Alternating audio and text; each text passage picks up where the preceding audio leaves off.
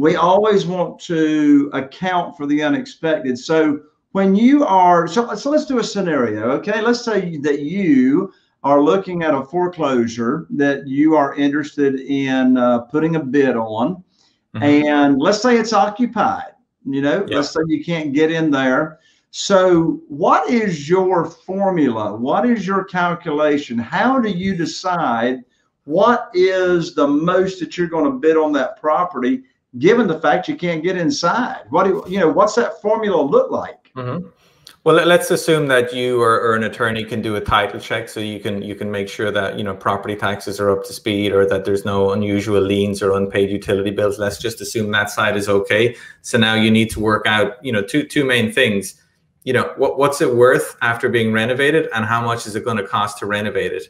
And obviously that's not easy if you can't get inside. So you know the first thing you're going to do is you're going to look at the MLS to see has it been sold in the last 15 years? And, and get a look at some previous listing photos. Because maybe it was sold in 2010 and 13 and 15 or maybe it was listed for rent or maybe it was listed and taken down. But you can see certain things like has it got some tile floors? Was the kitchen modernized in 2015 what is it you know how old you can look online see how old is the roof and the ac they're major big ticket items um, so sometimes you get an idea from that, but a house could look great in 2016 or 2017, and you know the wrong kind of person lives there for three years, and you're you're back to square one. So you know more often than not, we're kind of with the exception of of kind of roofs and ACs, which you can kind of tell from permit records and drive-bys.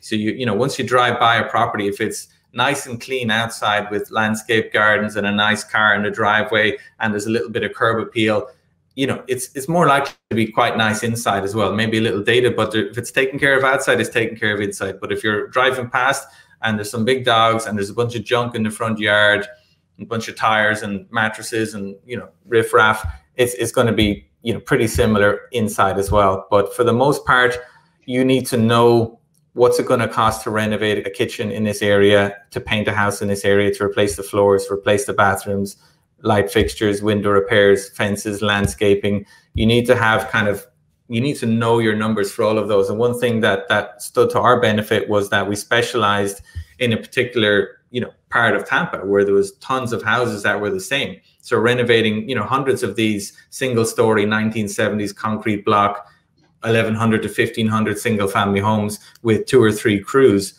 and we kind of knew those costs very well. So you just once you know those costs, you generally are safe to assume you're going to need everything, unless there's a one-year-old MLS photo showing different, um, and then you you allow you know your holding costs, your insurance costs, your your your private money costs.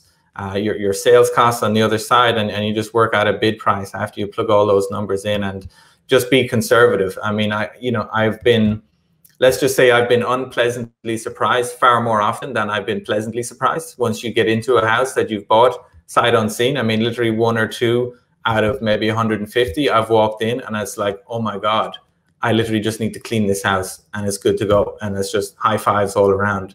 But sometimes you might think, you know, I saw a picture two years ago and that kitchen looks pretty good. I think we might get away with it. Most of the time you walk in and this, no, you got to tear it out, you know? Well, you know, you said something a moment ago that actually goes against the grain of one principle that most people have heard, and that is you can't judge a book by its cover. But I did hear you say when it comes to foreclosures, if the outside is looking pretty good, chances are the inside is looking pretty good, right? That that has been surprisingly consistent over the years. I mean, it is a very good rule of thumb, certainly in suburban you know middle class areas where I operated is um, yeah it, it tends to be that way.